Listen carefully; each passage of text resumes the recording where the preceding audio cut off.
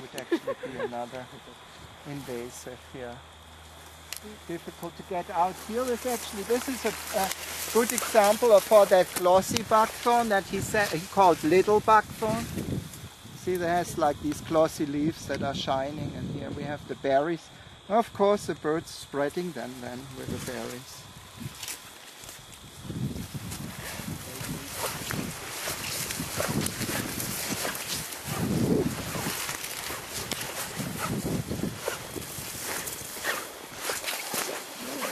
Dirt in here.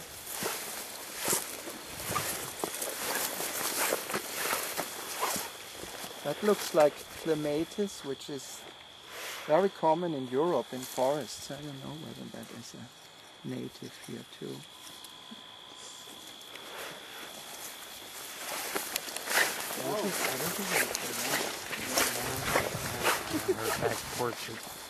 Yeah, the- Wow.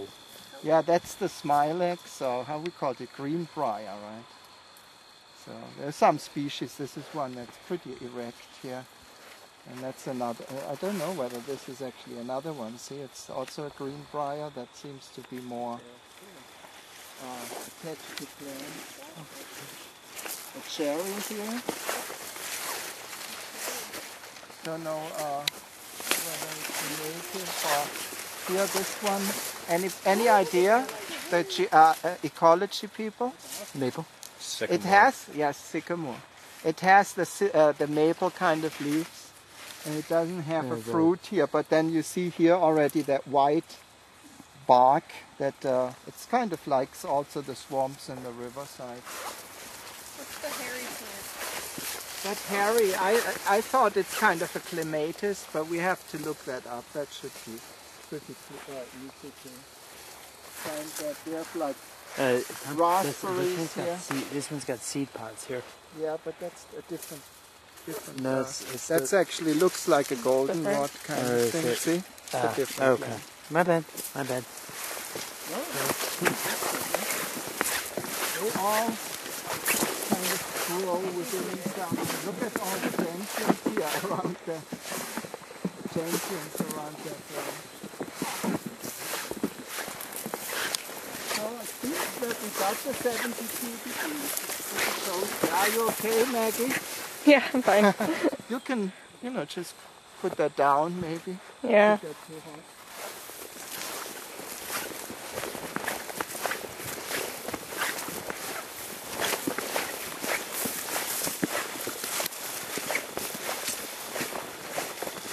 And That's also something special with those red flowers.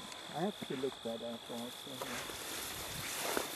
A lot of interesting and I wish I would have uh, a botanist with me all the time. Oh, this was one that I also, she said, she's, oh, it's almost out of bloom. I will give you the name of that, but just uh, keep it, uh, and we have a record of that. Something blue, something. Looks like a lady slipper. Sorry. Uh, it's not an orchid. It's very pretty. See that black soil now we have here, that's kind of more like a